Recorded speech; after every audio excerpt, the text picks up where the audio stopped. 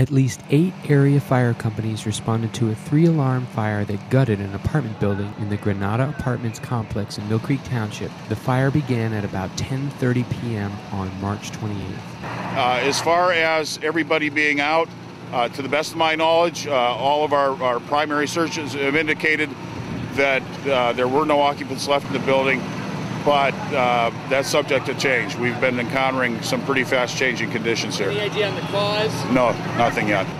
Uh, again, uh, some of our challenges up here, just the fact that it's all the way at the top of this facility, uh, establishing a good, adequate uh, water supply uh, for this volume of fire has been somewhat of a challenge.